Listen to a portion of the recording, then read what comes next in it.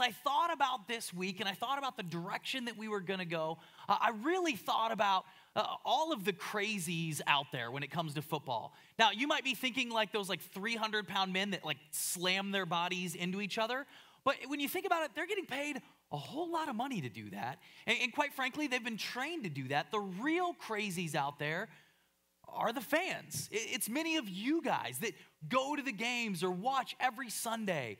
I mean, whether you watch from the comfort of your La-Z-Boy every Saturday and every Sunday, or whether you're like full body paint in New England in January, fans are insane. And I love, I love crazy fans. You know, whether you got like cheeseheads which I'm a Packers fan. This is just a beautiful picture to me. Um, my, my fellow Bears fans would be absolutely mocking this and say this is the perfect picture of a uh, Green Bay fan. But nonetheless, and then you've got like the dog pound, you know, those are like the lovable fans that we all know. And then you've got like the crazy, like black hole Raiders fans. Have you guys seen these guys? You ever see like the black hole when the Raiders are playing? These guys, like, you look at this guy, and I swear, I would think, I would be concerned that if my team beat the Raiders, which is not hard this year because pretty much everyone is beating the Raiders this year, this guy will like come to my house and stab my dog, right? Like I, I do not, he's probably like an elementary teacher, you know, he probably like, he's an accountant, I don't know, you know, probably a very normal job, but I would be terrified to mess with this guy. So we're, this is what we're talking about today, eh, are the fans. That's what the game's about. If there weren't people out there buying tickets, watching every week. I mean, this would be this would be nothing. This exists because of all of you. If you consider yourself a fan of football, the game exists for you. And there's no better story as I thought about the fans to talk about than the story of the video you saw beforehand, and that's the 12th man. This idea, have you heard of the concept of the 12th man? I mean, really, the true, when you talk about the 12th man, really, you go back to the Seahawks, right? Right? Am I right? The 12th man. Do, we have, here's, here's the argument. Do we have any Aggies fans in the house? I know we got a few that right now their blood is boiling. Um, I'm about to get sued by Aggies fans just for saying that. No, the, the home of the 12th man really belongs to the Aggies. In fact, today I decided to wear an Aggie shirt uh, just, just to represent the Aggies fans out there we're getting, yeah, some, some cheers, some boos. Uh, the 12th man, now here's the thing. If you don't know the story of the 12th man, first of all, I found out like the Seahawks also call themselves the 12th man, but they license that name uh, from Texas A&M. They've got that trademark. And uh, if you ever try to use that without that, the Indianapolis Colts, uh, horrible team that Steve cheers for, unfortunately, uh, tried to use that, and they got sued by Texas A&M to not use that name, and they were never able to use it. Um, so they'll sue you into oblivion if you try to use that unless you pay them money like the Seahawks do. Uh, so I did a little bit of research, and Here's the thing if you don't know the story of how the, the team or how the, the fans, the, the place got called the home of the 12th man, it's a really incredible story. So, for those of you that aren't A&M fans, also known as those of you that can do simple arithmetic, uh, let me go ahead and explain. Sorry, Aggies fans, I'll leave the jokes to a minimum. Uh, but anyway, uh, I want to tell you a little bit of the story. It was, I believe, 1922 uh, and A&M was playing an undefeated Centre College team. Now this team, not only were they undefeated, I read that year they had scored 298 points in 10 games and only allowing 6 points all season long. And A&M was playing them so they're huge underdogs and A&M was just getting beat up. I mean, their entire backfield was decimated. They had almost no backs left. And there was a player by the name of E. King Gill uh, that was a former player, and now he was up in the stands. He was actually in the press box helping the announcers uh, identify different players. And so the coach, their name, I kid you not, Coach Bible. Um, this sounds like a Texas like folk story, uh, but it's true. Uh, Coach Bible called up to the press box and said to send him down and for him to suit up. And sure enough, he runs down, he suits up, he walks out onto the field. He doesn't end up making it in the game, but the idea that he was ready, that, he, that no matter what, for his team, he was going to show up, he was willing to be there. That's where this idea of the 12th man, that the audience, that the fans, the student body is the 12th man of the football team. If you're still wondering, like the 12 man, there are 11 people on a football team on each side of the ball. So 11, one extra equals 12. Again, Aggies fans, I'm helping you too. So anyway, like so so that's the idea of the 12th man. And I want to read this, okay? I want to read this for you real quick cuz this kind of sums up this idea at Texas A&M, this 12th man. Let me read this. This is from their like book of like lore, I don't know, but I came across this. That spirit of readiness for service, desire to support, and enthusiasm helped kindle a flame of devotion among the entire student body, a spirit that has grown vigorously throughout the years. The entire student body at A&M is the 12th man, and they stand during the entire game to show their support. The 12th man is always in the stands waiting to be called upon if they're needed. Now, here's the thing. I don't care if, you know, if you don't like football all that much, even if you're not an A&M fan, come on, this is a cool story, right? Like this is the kinds of things that we cheer for. These are the stories like Rudy and things like that that we get behind because we love this kind of devotion, this kind of passion for something. I when I read this personally, again, I'm, I'm a Packers fan, and then for NCAA, I'm an, I'm an Irish fan, a Notre Dame fan. So for me, story and history, whether it's the Four Horsemen with Notre Dame and the, the, you know, the house that Rockne built, or with the Packers, the Ice Bowl. You Cowboys fans remember losing that game, right? Okay, like things like that. Story and history, those things to me, that's everything. And I love that, that Texas A&M has this kind of a story with their game. And it's so important. The, the place that you play week to week, if, if you know football, really makes a huge difference. So much for that they talk, so much so that they call it a home field advantage. That playing at your home field with your fans cheering you on, they say actually makes a difference in the outcome of a game. Isn't that crazy that the people cheering can make that kind of a difference? And I love that kind of story. And, and what I know to be true is it's not just true in football, but it's also true in life. I mean, we've experienced this in our lives, haven't we? Have you ever had a huge decision that you've had to make? Maybe you're going in for a big job interview. You have a big test the next day, and knowing that you have friends, you have family members, you have people cheering you on, supporting you, praying for you. Isn't that what we want? Doesn't that make us feel a little bit better? Maybe when we're going through an incredibly dark and trying time, to know that there's a community of people behind you, supporting you, again, cheering you on, that helps us make it through that moment, doesn't it? Isn't it great when you've got great news and you've got people that you can call and tell about and they're excited with you? Instead, we've also probably experienced the moment where something awesome happens and you're just like, oh, you cool, you know, and there's like no one really to tell around you. It just, it's not the same. I mean, here's the thing movies are fun and enjoyable. In fact, I, I don't mind going to movies by myself. Anybody else, like, you don't, you enjoy going to movies by yourself? Yes, a few of us creepy people that everyone else looks at weirdly when we buy the ticket and we say one and they go, oh. Like, no, just give me the ticket. Um, but I, so I, I love that. But also, it's, it's great with a friend, it's great in community. We, we need moments where we've got people around us. And in this sense, with this idea, really, we all need to have a 12th man in our life. Some of you out there are thinking, and you're like, listen, one man is plenty, right? Like, I can do no more men in my life. I have to clean up after one. 12, no thank you. Others of you are thinking, like, I would take one man in my life right now, right? Like I would, I would be more than okay with that in my life. I would take one. But but we all need this idea of, of a 12th man in our life. Someone to cheer us on, someone to support us when we're going through difficult times. This kind of community that, that all of us need in our lives. And you see, this isn't just true in, in sports and in life today, this has been true forever. In fact, ancient history records the need of community. If you go back, people without community many times were left out on their own and would die without community. They would die without people around them to support them, to keep that community going. Ancient Israel, there's this uh, incredibly wise person that wrote down all of these kind of sayings and all of these things. And I wanna, I wanna read for you from the Bible something that, that speaks to this idea. It comes from Ecclesiastes. It says this Two are better than one because they have a good return for their labor. If either of them falls down, one can help the other up. But pity anyone who falls and has no one to help them up.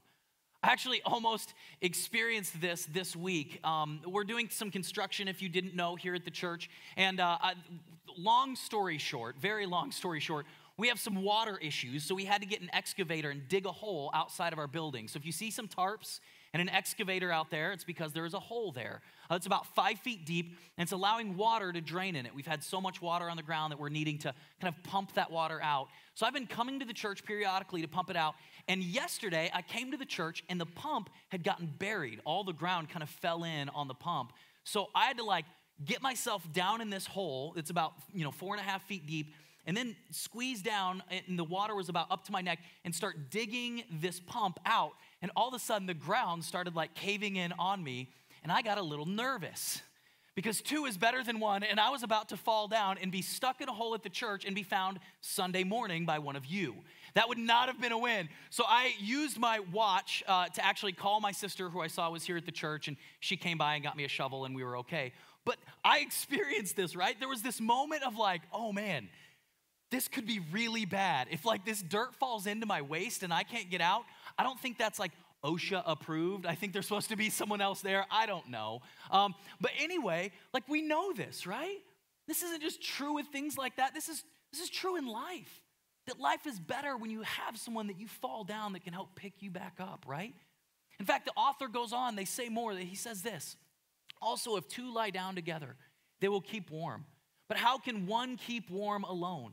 Though one may be overpowered, two can defend themselves. A cord of three strands is not quickly broken. Now, single men in the room, this is not a, good pickup line for church, right? Like, don't think of this and go, hmm, two can lie down. Like, hey, I got this idea for a pickup line. No, don't, don't go that way with it. But here's the thing we know this is true, right?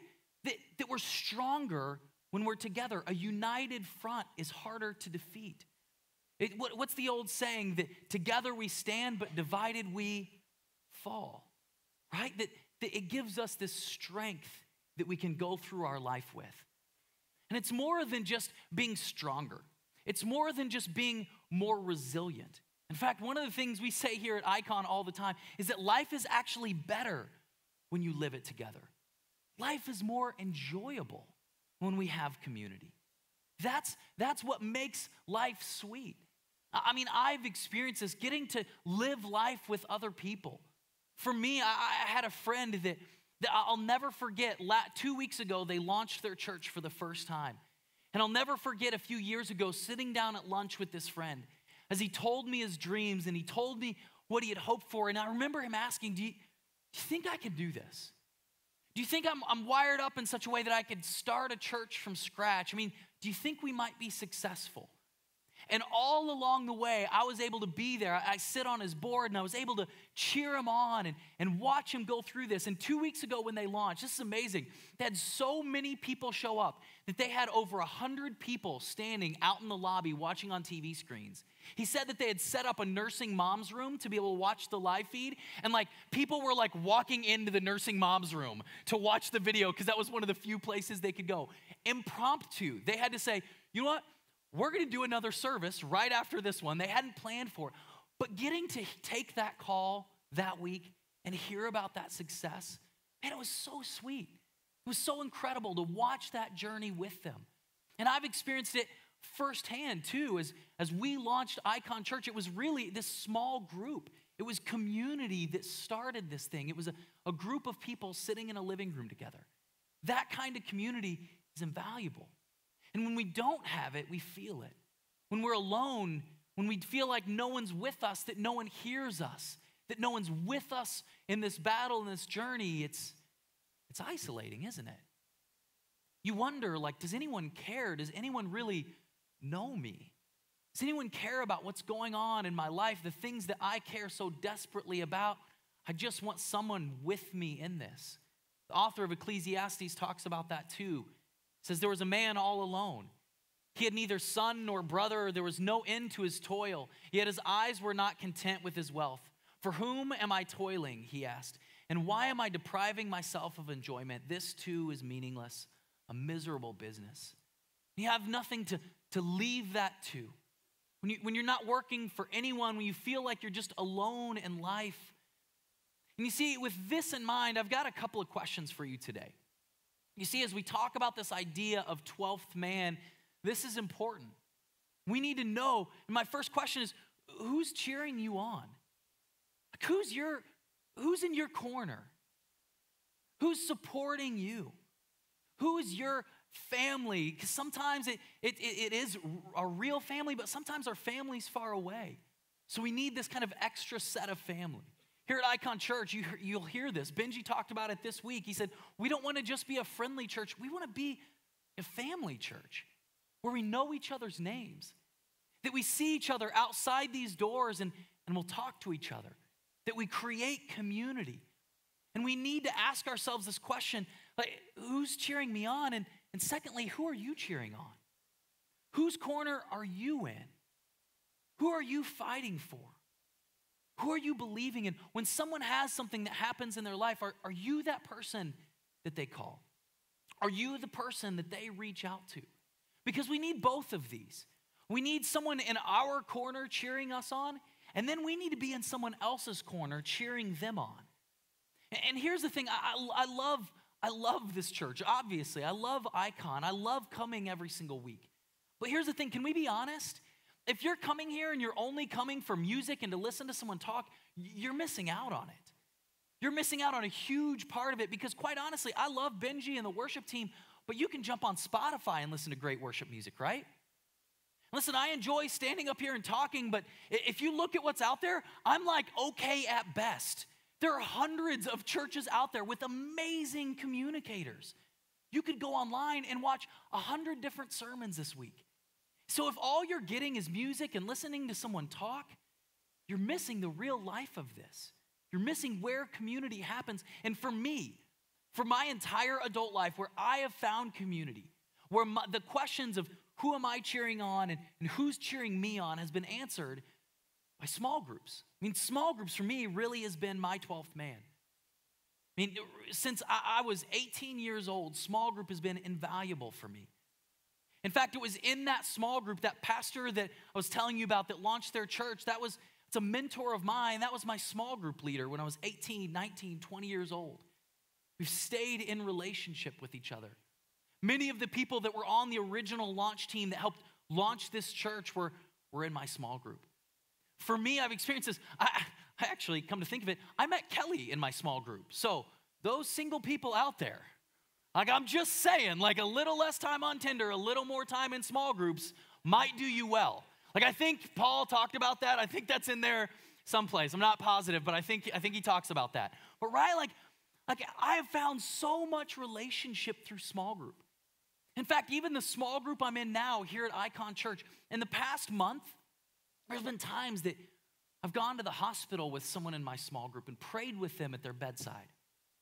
In my small group, there's been a time that recently that we got together and we talked about a huge life change this big job offer for someone in our small group. And we sat there and we prayed and we talked through it. And they're able to say, What do you, what do you think about this? What do you see as the pros and the cons? We're able to have this incredible conversation. Last week, I, I spent a week with someone in my small group and we traveled to Mexico. For me, relationship just continues to happen through small group. For me, this has been incredibly important throughout my life and to this day now. And, and I'm, I, can't, I can't stress this enough. If you show up, if you consider yourself a regular at Eikon, and you're not in a small group yet, you don't have that kind of a 12th man in your life from Eikon, you're missing out on really the best part. I love Sundays. This is great. But you know what I'm really looking forward to? Is tomorrow, is getting together with my small group, especially because one of them is is smoking a brisket. Like I'm very excited and our small group is full. Like if you're thinking like Mexico, brisket, like I'm, I'm, i love you guys. But you know, that for me is the life of this church. That's where I find my, my greatest joys is in that small group. And I found out that when it comes to relationship and community, really consistency over time makes all the difference. Because you might be thinking like, I've tried a small group before and I went for the first time and it was kind of awkward. And I get it, it is. Like every single time, if you've ever started a small group from scratch or like showed up at one for the first time, every time it's awkward, isn't it? right? Everyone's like small talking. It's like a blind date, and you're like, so, the weather, um, you know, you're like, oh, what do I go to, you know, and you, are like, ah, oh, the football, you know, is good. The, the, the football and the, the politics. No, not the politics. We're going to leave that one out. You learn real fast. And it's this awkward moment, right? But consistency over time makes the difference. I mean, it's rare that you meet someone, you decide, let's just be best friends forever, right? If you ever meet someone and they say that, they're creepy, right? Like, that's just not normal, right? It takes time and it takes consistency, actually showing up week after week. And I get it. You, you might say, listen, I, have got some buddies at work that I get to go get together with, and that's great. I love that. If you are good friends with your neighbor, that's fine. If you have family close by and you find community there, I'm not knocking that. But some of you, you might be sitting here and maybe you've been coming to Eikon for a while and you just kind of feel like, I feel like my spiritual growth is kind of stalled out. You know, I show up here and I'm, not growing enough. And, and here's what happens many times as a pastor is you hear this, you hear, like, I just, I'm not getting fed, right? Well, there comes a point in your spiritual growth that you learn how to use a fork and to feed yourself. And there's a time that in community, you learn to help other people eat more than just once a week. If you're only eating spiritually on Sundays, you're going to be anemic. And small group is this great in between that happens during the week in the middle of life that you can eat, you can help feed others, and that you can grow. You see, and it takes time, and, and you know what else it takes? It takes intentionality. It takes being purposeful in what you do. It takes saying, you know what, I, I'm, I'm tired. There are plenty of days that I'm here at the church and I'm coming home, and in the moment, I'm exhausted. I, I know that I'm going to be getting home. There's going to be a few things with the kids to take care of. And, and then I think, oh, we have small group tonight. And I'm just going to be honest, there are times that I'm going, oh, man, like, I just don't know if I have the energy right now. And I have to choose in that moment. No, you know what I need? I need a 12th man in my life. And, and I don't know what, what my friends are going through and what's in their lives. So I need to be that 12th man to them too. What if this week has been a really hard week and and I need to be there for them. See, for this reason, you can only find community intentionally and in person. We lose something when we only get in community on a screen, in a group, on a page. That's not the kind of community that the author of Ecclesiastes is talking about. We need to be intentional about it, and it needs to be in person. I mean, what would it be like if, if at Texas A&M all the fans were like, hey, we're super busy, but we're going to jump on FaceTime and we'll be on the Jumbotron, right? Like, we'll cheer you on there. A&M, we're thinking of you, you know, like thoughts and prayers, A&M, you know, like it, it's not the same, is it? Than having that fan base show up. The students standing the entire game, win, lose, or draw. They're there cheering for their team. It's different, isn't it? Sending a text to someone, sure, it's something. There's something altogether different about someone being in person, saying, I'm here for you. I'm with you in this. See, that's, that's what this is about. See, church isn't about showing up and sitting in some chairs. We say this all the time, but we really believe that circles are better than rows. I love it that you're here. I hope you're back here next week. I, want this thing to continue to grow. But you know why? So we can create more circles of 12th man all around these communities. So we can have these, these huddles that can become family, that can be there when we need someone. When someone needs us, that we're there for them. There have been so many times in my life that I needed someone in my corner. And my small group was that for me. And I know that I need to be that for someone else. So, again, if you're a regular here at Eikon, this is what we're about. We want to be a church of small groups. Not, not that it's like this thing that we have that, oh, yeah, we've got these small group things. We're a church with small groups. No, we want to be like we come here And we're a gathering of a bunch of different small groups throughout the community. That's what this is about. It's about finding that 12th man. So, in a moment, here's what we're going to do the band is going to play one final song. We're going to end upbeat, celebrating this idea of having someone in your corner, being in someone else's corner. And then we're going to go out these doors, and today we're going to be having a small group rally. As you walked in, you probably noticed some tables along the side. That's representing the different small groups here at Eikon Church. And we're adding some more small groups, and we want to create space for you to jump into a small group today. So, as we dismiss, you're going to have a little bit of extra time today. And we want you to just take a few moments. I know sometimes we, we want to get out of here right away, but we're ending a little early so that you can go out there and have some time. Speed dating for small groups. Go around, talk to the different leaders, walk around. I don't know if that's a slogan you should use, but anyway, like go around, take some time to talk to some small group leaders. Get to know them, ask them what time they meet, where they meet, and find a small group that might be for you. You might be sitting there and you might think, oh, it's gonna be awkward. I, I don't, I'm kind of introverted. I know. It always is at first. But lean into this. Because years later, you're going to look back on this day and you're going to be glad that you did. So, why don't you today do something that the future you will be glad you did it? Join a small group today. Listen, if you go to a small group a few times and it doesn't work for you, find another small group. But then, once you find one, go deep with those relationships. It's not like on day one, you got to spill your life story. It's so that we can build relationships that maybe, just maybe, might become that for you someday. So you have some time to go find a small group. And maybe you're out there and you don't find a small group that's a perfect fit for you. Maybe the answer for you then is you create that huddle. You create that 12th man community for you. Our, our, small group leader, her name's Talitha. She's in the back over here. She's wearing a shirt that says, Find your circle. And she'll be out there walking around. She has a team of people that'll be out there walking around, and they want to connect with you. They'd love to talk to you. So if, if you don't find a small group that's a great fit for you, talk to one of the small group leaders. They'll point out Talitha and her team to you. It'll be a great chance to talk about maybe it's your opportunity to smart, start a small group. You can also go to the info center, talk to them there. They'll point you in the right direction. So I want to end with two final questions. The questions I asked you earlier. The first one is who's cheering you on? I mean, really. Not just who are your acquaintances, who are your friends, like who really cheers you on in life? When you have a great day, do you have a community that you can call?